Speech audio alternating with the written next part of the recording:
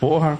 Liberado? Tem mais alguma pergunta aí, Tem, Mega tem, tem. Shed? Porra, você gostou? Fala ou não, você- eu tive que convencer esse cara. Mas é isso, mas, porra. porra. mas é, O Sérgio não sei é um- que, é um divulgador científico. O cara, o Eu cara é sou 200 de cientista, QI. porra, eu não entendo nada disso, Você- porra. É, sempre Então, mais, mais cientista que eu. Que tá é doido? O que, que, o que que eu vou, o que, que eu vou discutir com o cara do foguete, porra? Se Não, a que gente vai isso. discutir se teve terra plana, que desgraça de discussão é essa, porra?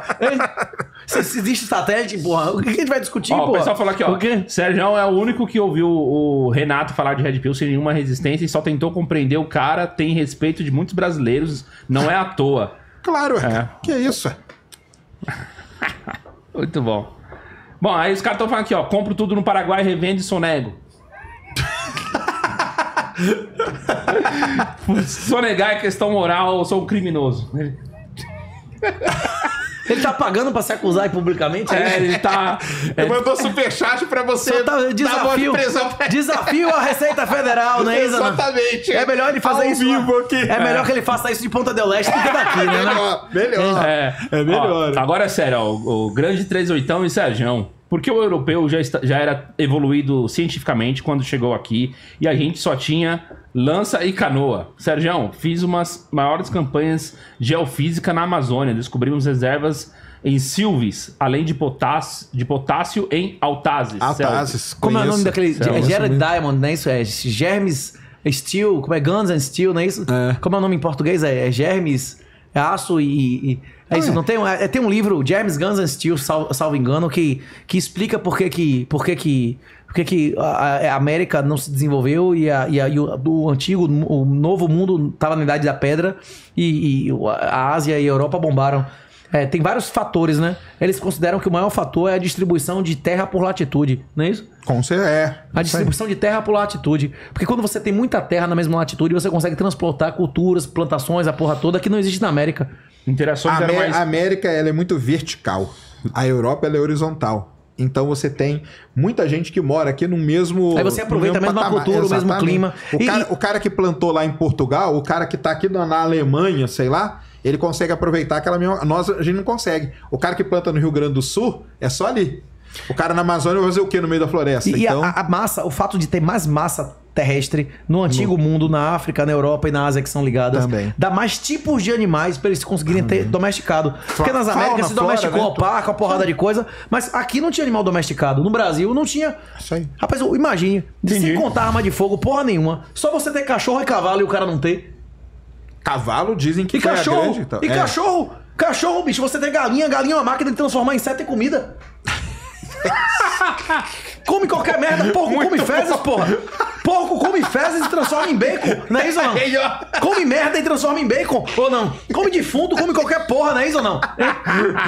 Galinha. Como é macarrão que o dia, né? Não é macarrão, cara, não era frase cachorro, essa aí não, não. cara. O quê? Galinha é maior máquina de transformar inseto em comida. Sensacional. Não, e porco come merda e transforma em bacon. O quê? Boi come capim e transforma em, em picanha.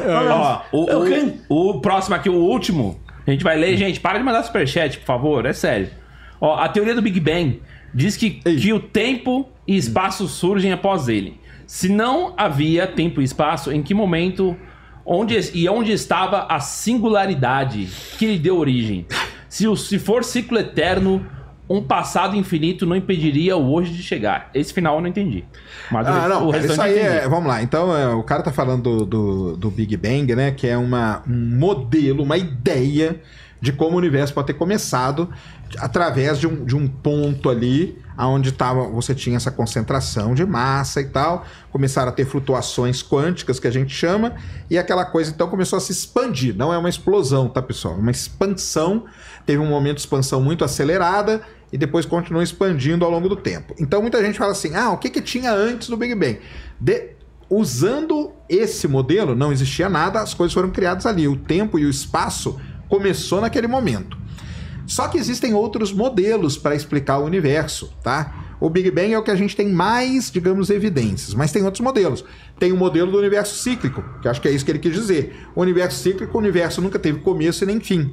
Ele, vem, ele colapsa lá, igual o lance da sociedade que a gente estava falando, e depois ele ressurge. Colapsa e ressurge. Se a, área, se a área, inclusive, for limitada. Você não Exato. sabe se o espaço é infinito ou É limitado. isso, é se o espaço for limitado, ele vai e volta. Se Ele for vai infinito, volta. a porra é, é- Continua Se, se o fim vai sempre. ser em calor, se o fim vai ser em frio, né? É isso que é o gran- a morte térmica do universo que a gente fala.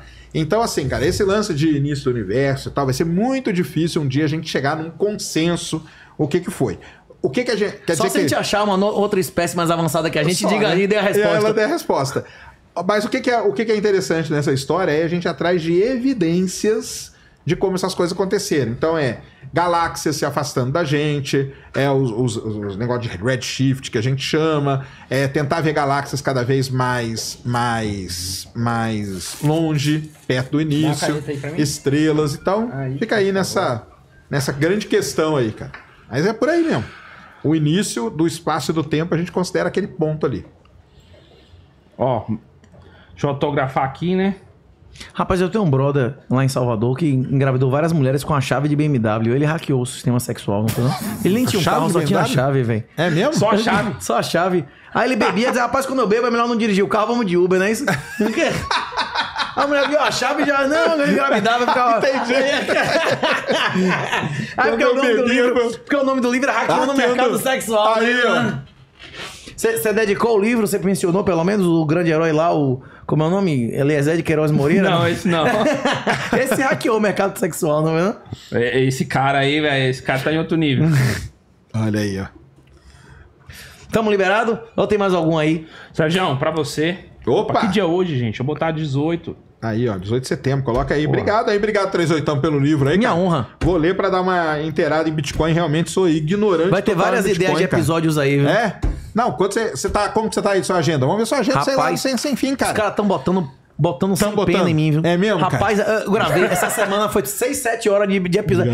Três episódios por dia? É. O escravinho dos caras Mas já trabalhando. você tá, você tá voltando lá pra, pra, Ele pra vai- Salvador? Pra onde? Sá- Sábado eu volto pra casa. Eita. Mas quando que vai ser sua próxima... Aí ele vem pra cá e a gente te informa. Ah, então vamos, cara. Vai lá, aventura. cara. Quero que você vá lá no Sem Sem Fim falar de Bitcoin, das, de tudo, cara. Prazerzão, cara. Minha te honra. conhecer Ó. aí. Sérgio, pra você o presente. Muito Obrigado, obrigado pela cara. sua participação. Valeu demais. O, o livrinho aí do Hackeando Mercado Sexual também. 38 Tamo sempre. junto. Minha honra. Tamo junto. Galera, muito obrigado pelo recorde de audiência. Fiquei muito feliz e a conversa foi muito melhor do que eu imaginei. Eu quero aproveitar a galera que tá aí, então, mu- muitos aí, pode ir lá, cara. Bora lá pro... C... Que horas são, na A verdade? Nem ciência sem fim é hora 8, que é agora? e meia, agora é 7h15. 7h15, então é a hora.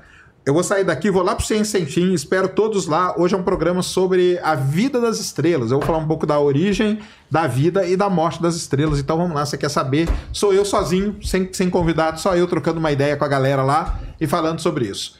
E Amanhã, no Ciência Sem Fim, vai estar uma menina muito legal chamada Rebeca Gonçalves, trabalha na Agência Espacial Brasileira e ela é uma astrobióloga que faz o trabalho do Matt Damon no Perdido em Marte, que é de plantar coisas em Marte.